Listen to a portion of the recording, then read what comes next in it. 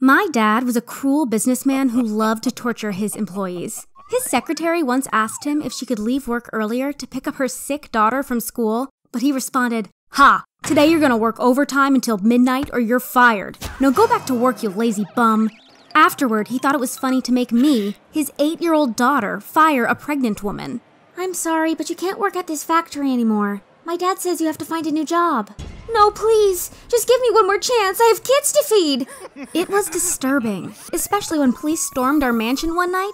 They arrested Dad for burning down the factory of his biggest competitor. Admit it, you set the fire.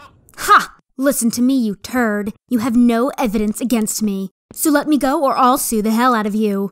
He was also a cheater. He threw big parties at our house, invited beautiful models, and made out with them right in front of my mom. I can't understand why she married a man like him. Dad was so hated that I needed security guards to pick me up from school.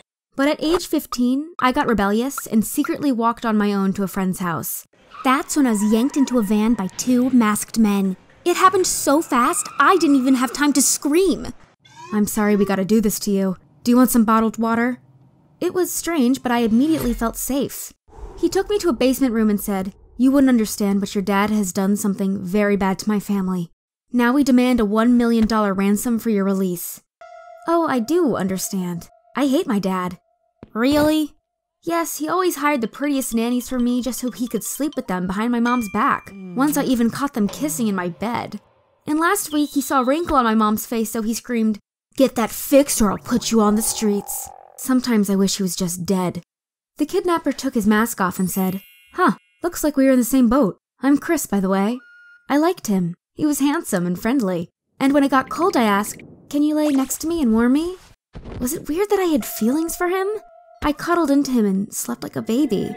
The next morning, he finally told me the story of why he hated my dad so much. He said, Your dad wanted to buy my family's shop, but when we refused to sell it, he just burned it to the ground. Now my parents live in poverty all because of him. I'm so sorry. Well, the money drop is happening today. Once my buddy picks up the cash, he will call me and I can let you go. But Chris didn't get a call. Something's wrong. Yeah, I don't think my dad would pay money to get me back. He probably caught your buddy and is milking him for our location right now. Damn it! What should we do then? Look, my dad doesn't like parting with his money. If you really want it, you're gonna have to steal it from him. I brought Chris to a hidden escape tunnel that led into my dad's mansion. Let's rob him together, 50 50. Deal? I knew dad was hiding money under the wood pilings in the living room. But right when I pulled it out, my dog found us and started barking like crazy. Shh, it's me, be quiet. Then someone came into the room. It was Dad. I knew it. You only pretended to be kidnapped to get my money. That's not true! You ungrateful little brat. You disgust me. Good. I never want to be like you. You are evil and do nothing but destroy. That's why no one loves you. Then Chris body slammed him, gagged him, and tied him to a chair so we could escape with our loot.